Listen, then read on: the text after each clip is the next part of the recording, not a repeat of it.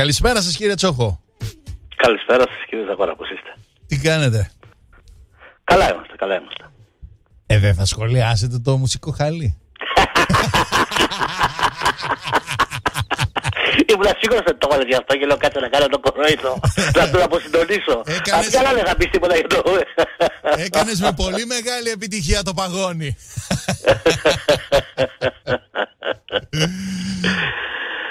Ναι, ναι. Καλή Θα ξέρεις επιτυχία. γεννήθηκε. Καλή επιτυχία Ευχαριστώ σας πάρα πολύ, εύχομαι κύριε. κύριε Τσόχο.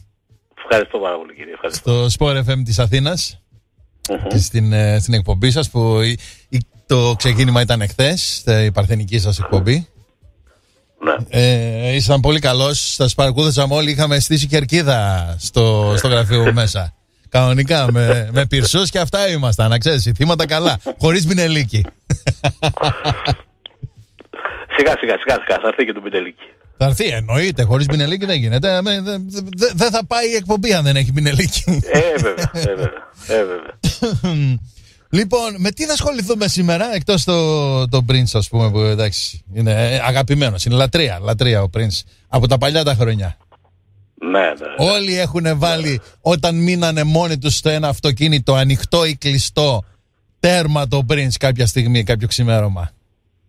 Ναι. Νομίζω. Ναι, και εγώ το πιστεύω. Ε, βέβαια, βέβαια, έχω ένα φίλο μου που το έκανε.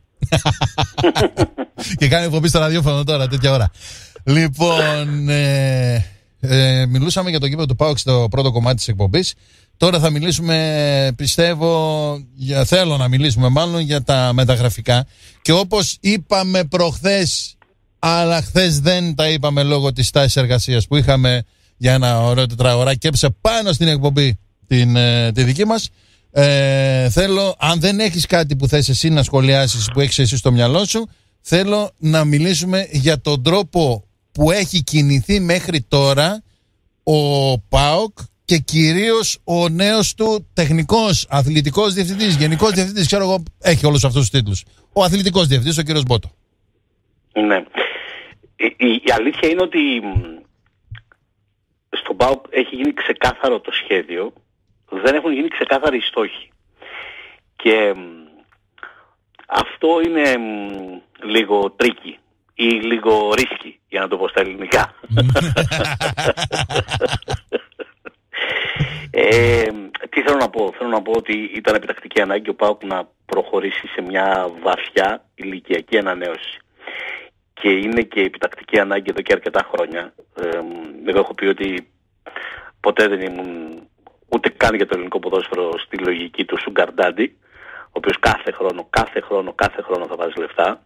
Γιατί κάποια στιγμή ε, αν δεν έρχονται πίσω τα λεφτά και αν η ομάδα δεν είναι αυτοχρηματοδοτούμενη αρχίζουν και υπάρχουν προβλήματα μετά από 2, μετά από 5, μετά από 10, μετά από 15 χρόνια. Βλέπε Παλαθηναϊκός μπάσκετ ας πούμε.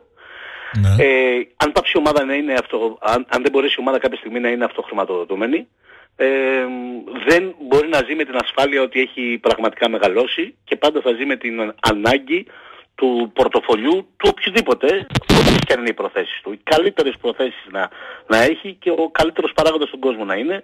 Δεν μπορεί η ΕΣΑΗ να βάζει 10-15 εκατομμύρια ευρώ το χρόνο Ε, βέβαια. προκειμένου να βγαίνει η σεζόν. Άρα ο, ο ΠΑΟΚ ήταν επιτακτική ανάγκη και να προχωρήσει σε μια ηλικιακή ανανέωση αλλά να πάει και σε επιλογές ποδοσφαιριστών που στο μυαλό του, ε, αυτών που αποφασίζουν το μυαλό, θα έχουν αρκετοί από αυτούς, αν όχι όλοι, μεταπολιτική αξία. Μια τέτοια μεταγραφή, κλασικά μια τέτοια μεταγραφή είναι ο Κουαλιάτα ας πούμε. Σε αυτές τις περιπτώσεις, επειδή ακριβώς οι ελληνικές ομάδες δεν είναι αυτές που μπορούν να διαλέξουν τα καλύτερα ταλέντα, ούτε καν ε, παγκοσμίως εννοώ, ούτε καν να, να επιλέξουν από την δεύτερη κλίμακα ταλέντων. Πρέπει να πάνε πιο χαμηλά από τη στιγμή που επιλέγουν να πάνε σε ταλαντούχους ποδοσφαιριστές με τα, με τα πολιτική αξία. Ε, αυτό πάντα έχει ένα ρίσκο. Δηλαδή ένας ποδοσφαιριστής που έχει κάνει ωραία πράγματα αλλά μόνο στο πρωτάθλημα της Ουρουγουάης ε, και πρέπει να τον πληρώσεις καλά, όπως τον πλήρωσε ο ΠΑΟΚ, περίπου 2 εκατομμύρια ευρώ για τα ελληνικά δεδομένα μια πολύ ακριβή μεταγραφή και δεν έχεις και τη βεβαιότητα ε, ε, ότι αυτό το πράγμα, αυτός ο ποδοσφαιριστής μπορεί να κάνει τη διαφορά στον ΠΑΟΚ και να έχει μεταπολιτική αξία.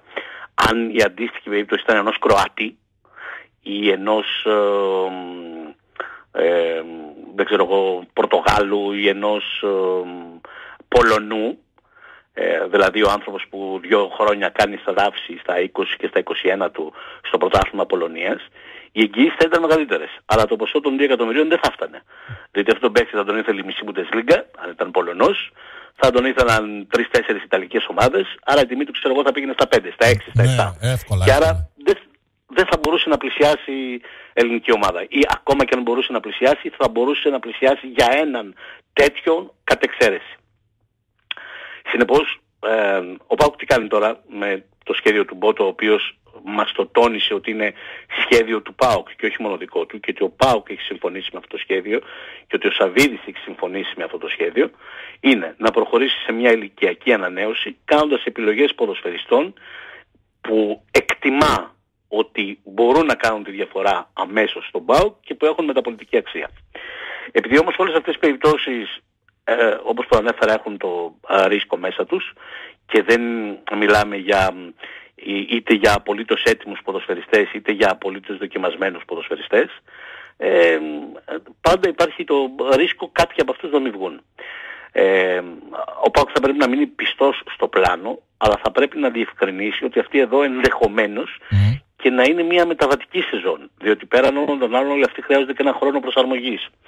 Μεταβατική σεζόν τι σημαίνει. Σημαίνει μια μεταβατική σεζόν που ασφαλώς ο ΠΑΟΚ θα έχει μεγάλους στόχους, αλλά που μπορεί να μην πρέπει να είναι απέτηση η κατάκτηση του πρωταθλήματος. Αλλά να είναι απέτηση η ορίμανση αυτών των παιδιών και αυτής της ομάδας κάτω από τις νέες συνθήκες λειτουργίας του κλαμπ.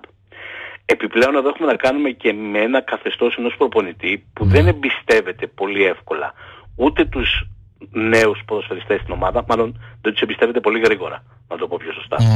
Ούτε τους νέους ποδοσφαιριστές στην ομάδα, αλλά ούτε και αυτούς που, πώς να το πω, δεν ξέρουν τα χούγια του, ε, θέλουν χρόνο για να τον μάθουν, να καταλάβουν τι ζητάει. Άρα μπορεί όλοι αυτοί να έρθουν και ο Λουτσέσκου να προσπαθεί να τους εντάξει στο σύνολο ε, σιγά σιγά, σταδιακά και όχι από την ε, πρώτη μέρα. Το λέω αυτό γιατί σε αυτή την περίπτωση θα ακούμε ότι έλα μωρέ ποιος κουαλιάται εδώ δεν τον βάζει να παίζεις βασικός ε, τους πρώτους ένα-δύο μήνες ή όποιος πιάναμε τώρα από τον Κουαλιάτα ως α, παράδειγμα εντελώς. Άρα νομίζω ότι ε, ορθώς ο Πάουκ έχει επικοινωνήσει τι θέλει να κάνει φέτος το καλοκαίρι και νομίζω ότι έχουν κατανοήσει άπαντες και κυρίως οι οπαδοί του. Αλλά ε, δεν έχει επικοινωνήσει ενδεχομένως με τον τρόπο που θα έπρεπε ότι ποια είναι η στόχευση. Ε, είναι διαφορετικό να πεις ότι με αυτούς που έχω πάρει ε, ε, πάω να πάρω δύο τίτλους στην Ελλάδα και να φτάσω μέχρι τους 8 στην Ευρώπη που έφτασα και πέρυσι.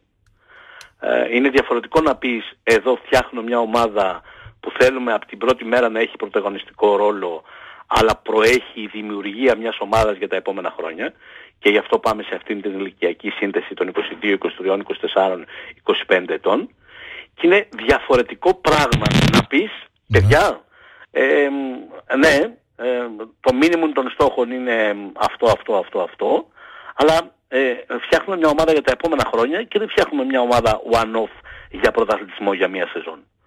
Ε, ο Πάκ δεν έχει, δεν έχει επικοινωνήσει τι από τα τρία κάνει. Αν θες την άποψή μου, νομίζω ότι προέχει η δημιουργία ομάδας και όχι κατά ανάγκη η κατάκτηση τίτλων την επόμενη σεζόν. Ποιος θα έπρεπε ομάδας... να, το επικοινωνήσει αυτό που ανέφερες; Νομίζω ο ίδιος ο Μποτό. Και όχι ο Λουτσέσκου. Γιατί το λέω, γιατί αυτός αναλαμβάνει την ευθύνη αυτού του εγχειρήματος. Ναι, προφανώς ο Λουτσέσκου βλέπει ε, πέντε βίντεο, πέντε στοιχεία, παίρνει πέντε πληροφορίες για τον Κουαλιάτα και δίνει την έγκρισή του, διότι διαφορετικά δεν θα μπορούσε να γίνει. Αλλά αυτό κάνει, δίνει την έγκρισή του. Τη μπαγκέτα του μαέστρου την κρατάει ο, ο Μπότο. Θα μου πεις, μας το τόνισε και το ξαναλέω, γιατί δεν νομίζω ότι το κάνει τυχαία, ε, ότι αυτή είναι, αυτή είναι και η εντολή που πήρε. Αυτό είναι και το σχέδιο του Σαββίδη. Αυτό είναι και το σχέδιο όλου του ΠΑΟΚ. Δεν είναι δηλαδή μια δική του πρωτοβουλία που ο ΠΑΟΚ του λέει «ΟΚ, να τη δούμε και θα σε αξιολογήσουμε». Είναι μια στρατηγική επιλογή ε, του, του ΠΑΟΚ ε, γενικά. Είναι μια επιλογή να πάμε στην επόμενη μέρα. Ε, έχει κλείσει ένας μεγάλος κύκλος. Οι περισσότεροι από αυτούς που οδήγησαν σε πολύ μεγάλες επιτυχίες στην ομάδα σε αυτόν τον μεγάλο κύκλο. Έχουν αποχωρήσει ή αποχωρούν.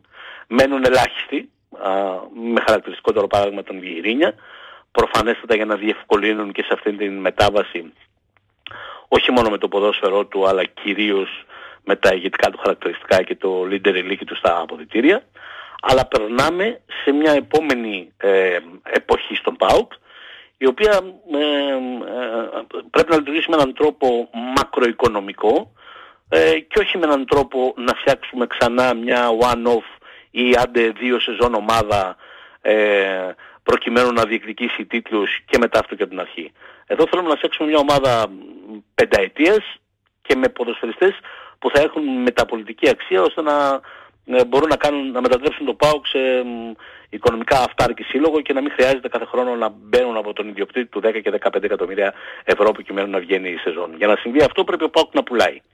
Για μένα το, το σκοτεινό σημείο, το όχι ευδιάκριτο, είπα αυτή την έννοια σκοτεινό, ναι. σε όλο αυτό το επιχείρημα είναι ο ρόλος των παιδιών των ακαδημιών. Δηλαδή νομίζω ότι αυτό, αν αποφασίσεις να πας στην επόμενη πενταετία και να αναδείξεις παίκτες με μεταπολιτική αξία, δεν το κάνεις μόνο με ποδοσφαιριστές αυτής της ηλικίας που αγοράζεις από το εξωτερικό, το κάνεις και με παιδιά ε, που θα στηρίξεις από τις ειδικές σου ακαδημίες. Δεν λέω ότι δεν θα γίνει, λέω ότι δεν το φωνάζει ο ΠΑΟΚ. Ότι στο σχέδιο, στο πλάνο της επόμενης μέρας έχει πολύ και αυτό. Έχει πολύ, εκτός από Λίρατζη και Τσιγκάρα που πια θεωρούνται ξέρω εγώ έτοιμοι ποδοσφαιριστές, έχει και πολύ Κούτσια, έχει και πολύ Κωνσταντέλια, έχει και πολύ δεν ξέρω τι, οτιδήποτε.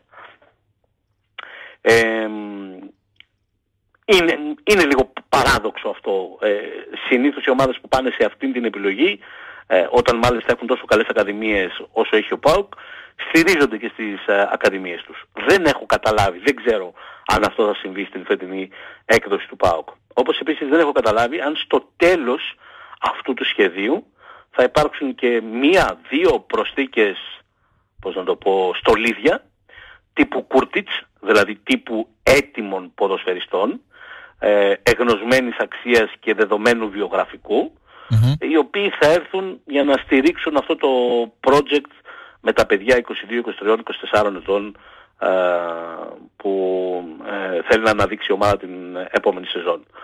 Ενδεχομένως αυτό και να, είναι, να μοιάζει απαραίτητο προκειμένου ο ΠΑΟΚ να μπορεί να πρωταγωνιστεί με το, με το καλημέρα.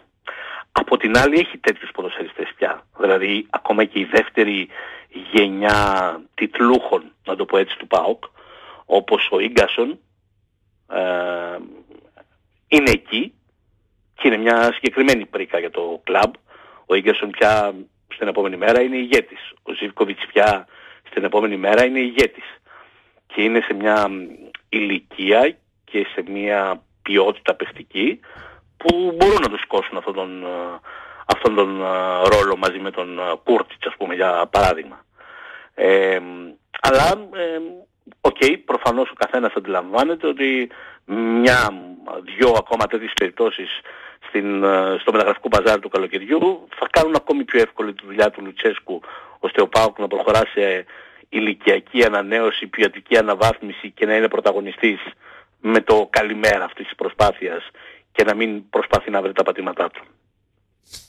Αλλά ναι. εγώ το αναφέρω όλα αυτά γιατί λέω ότι την ερχόμενη σεζόν πέρα από το πολύ σημαντικό καλοκαίρι που θα είναι απολύτως απαραίτητο για τον ΠΑΟΚ και για την οικονομία του και για το πρεστίζ του και για την ηρεμία του και για το ξεκίνημα της χρονιάς να μπει στους ομίλους και αυτό σημαίνει να περάσει τρεις προκριματικούς γύρους με μια σε μεγάλο βαθμό καινούρια ομάδα που θα έχει φτιάξει.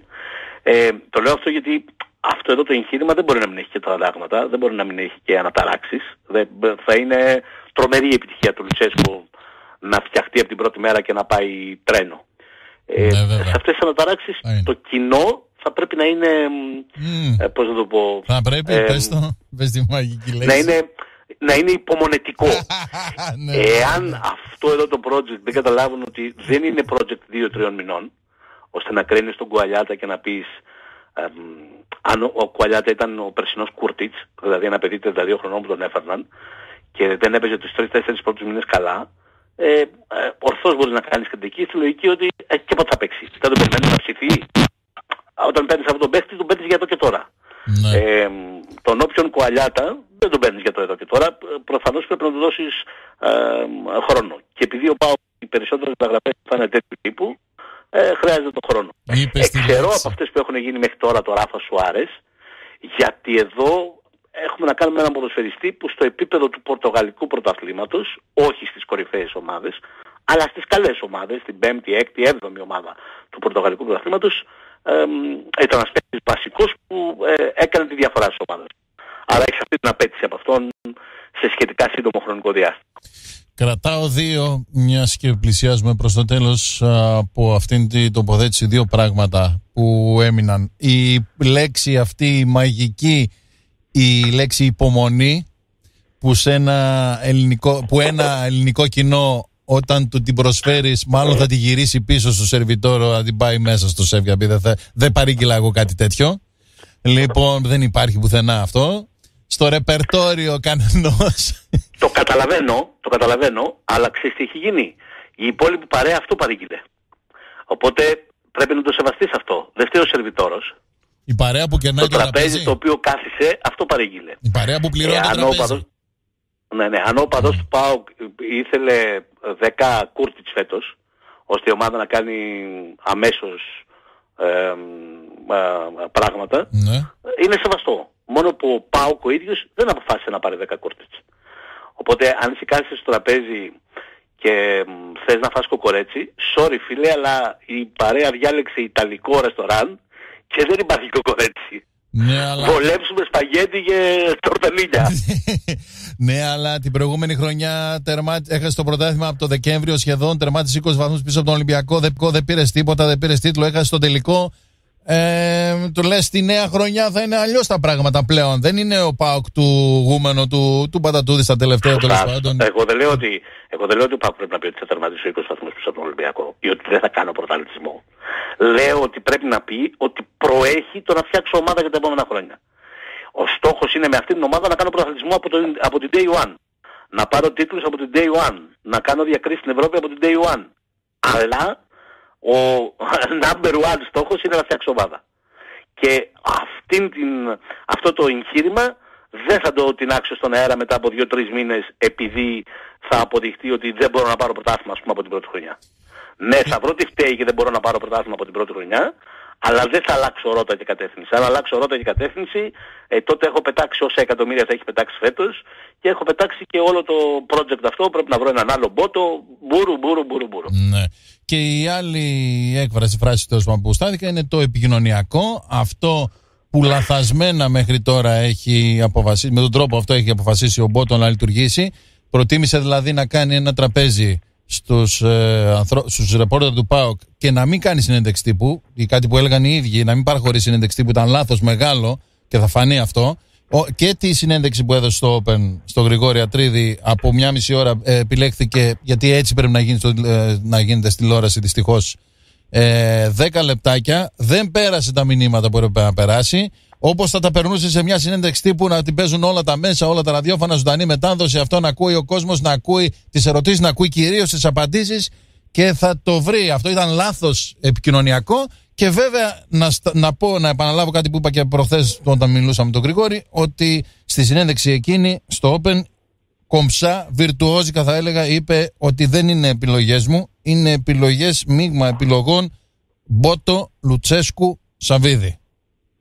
Ο Πάοκ που φτιάχνουν. Ναι. Ναι. Πολύ ναι, ωραία, ναι. πανέξυπνα. Ε, ναι. Ε, α, α, προφανώς, προφανώς. Ναι. Ε, ε, ε, δεν ξέρω τώρα μ, που πρέπει να αποδώσουμε την κάθε μεταγραφή, αλλά προφανώς σε έναν ζωντανό οργανισμό ε, που έχει έναν προπονητή τόσο σημαντικό, δεν είναι δυνατόν αν σου ζητήσει κάποιον ποδοσφαιριστή να το αρνηθείς επειδή αποφασίζει όποιος τεχνικός διευθυντής, όταν είναι μέσα στα οικονομικά πλαίσια σου και όταν είναι μέσα στο project το οποίο τρέχεις. Ε, δεν, δεν, δεν υπάρχει ομάδα στον κόσμο που δεν συμβαίνει αυτό. Μην είναι παρεξηγήσιμο δηλαδή ομάδα στην οποία αποφασίζει μόνο ο τεχνικός διευθυντής. Ακόμα και οι σοφοί της Bayern εκεί το Μαπετσό, οι γέροι που θέλουν να αποφασίζουν για όλα. συχνά πυκνά κάνουν χατήρια ε, Εννοείται. στον προπονητή. Δεν, δεν, δεν, δεν μπορεί να γίνει. Εννοείται. Και πάνω απ' όλα θα του γίνει Προέδρου. Αυτού, αυτού που πληρώνει. Δεν θα πεις όχι στον Κα- Πρόεδρο. προφανώς, Θα προφανώς. πεις όχι στον Πρόεδρο. Δεν θα πεις. Άμα θέλει κάποιον. Δεν θα πεις όχι, τώρα το θέμα είναι να το βάλεις. Λοιπόν, κύριε Τσόχος, σας ευχαριστούμε πολύ για το σχόλιο σας.